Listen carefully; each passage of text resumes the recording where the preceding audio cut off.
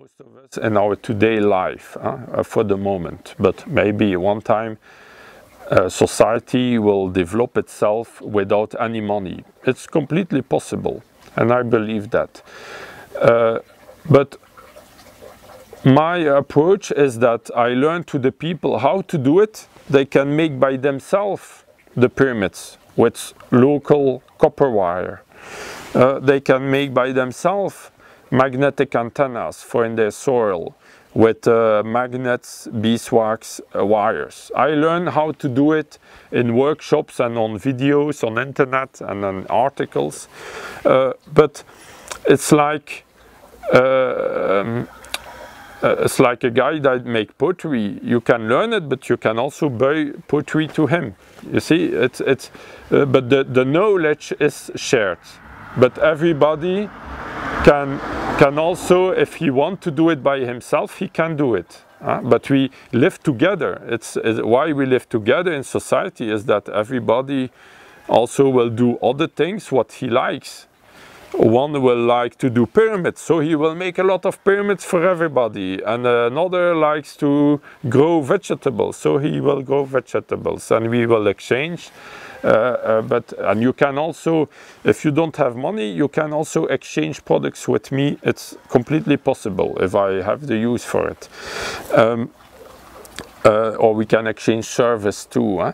But it, it's not, uh, I don't have secrets because of that, because I want to uh, contribute to a society without secrets and without uh, yes, without secrets and, and, and without all the problems that uh, uh comes from uh, secrets in our economy.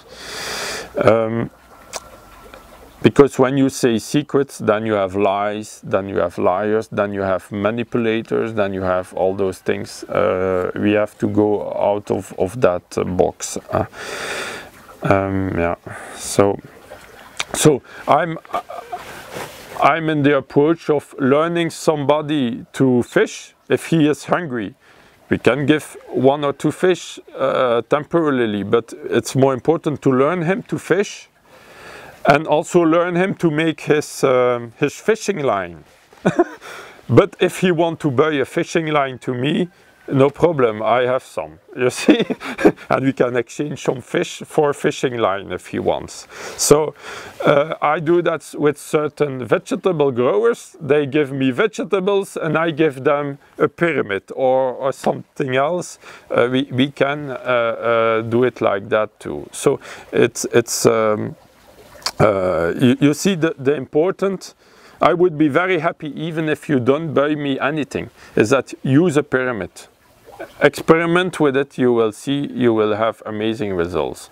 I observe that almost everybody that use really pyramids they become a better person.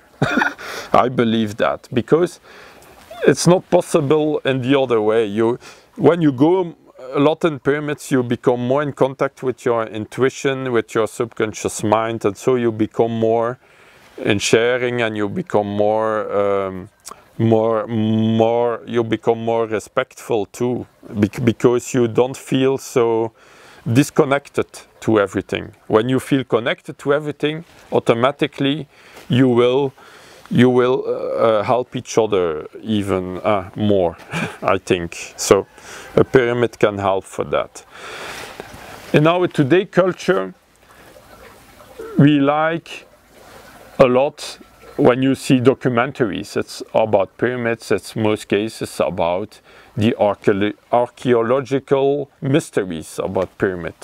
It's interesting, but that's not very practical, and that's that's only a story because maybe it's true, maybe it's not. We don't know. It's just a mystery, and uh, and but what what I found very interesting is how to use it and what we can do today with it. And that is very amazing. And I think the pyramids hold knowledge that can transform our complete world in a better place. And, and with very easy applications like uh, uh, increase the energy of your seeds or meditate in pyramids or just use it to harmonize the energies in your home. So you see there are different ways to use it that can that that can make a better place of where you live and and and like that uh, the whole planet Earth. Yeah, thank you.